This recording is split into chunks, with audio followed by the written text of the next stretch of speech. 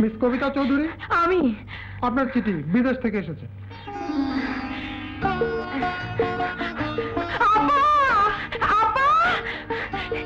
এই দেখো বিদেশ থেকে আমার নামে চিঠি এসেছে। কই দেখি।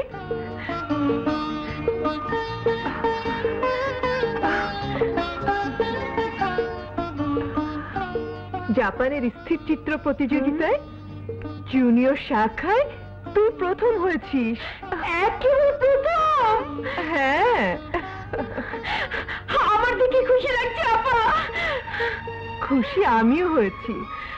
এবং এই কৃতিত্বের জন্য আমি তোকে আরও ভালো একটা ক্যামেরা কিনে দেব।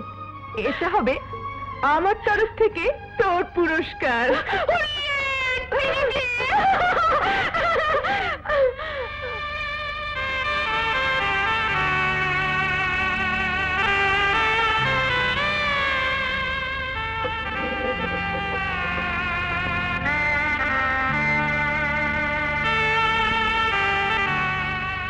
বাবা, তোমার শবনম এখন এই শহরের মস্ত বড় উকিল। রেশমা হোস্টেলে থেকে লেখাপড়া করছে। ও অনেক বড় সাংবাদিক হবে। কবিতাকে আমি ঢাকায় আর্ট কলেজে ভর্তি করে দেব। দেখো, ও একদিন এই দেশের বড় অঙ্কন শিল্পী হবে। শবনম চোখের পানি মুছে ফেলো, মা। শত্রুর সাথে লড়াই করতে হলে প্রয়োজন দুর্জয় সাহস, অশেষ মনোবল আর কঠিন প্রতিজ্ঞার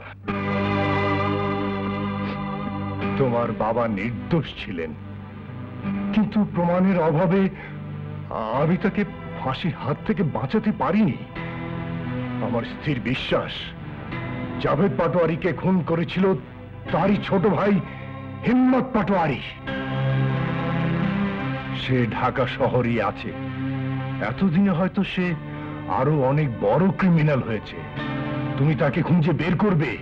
আমার নির্দোষ পিতার অকাল মৃত্যুর জন্য যারা দায়ী তাদেরকে খুঁজে বের করে আইনের হাতে তুলে দেবার জন্য মৃত্যুর সাথে পাঞ্জা লড়তে আমি প্রস্তুত।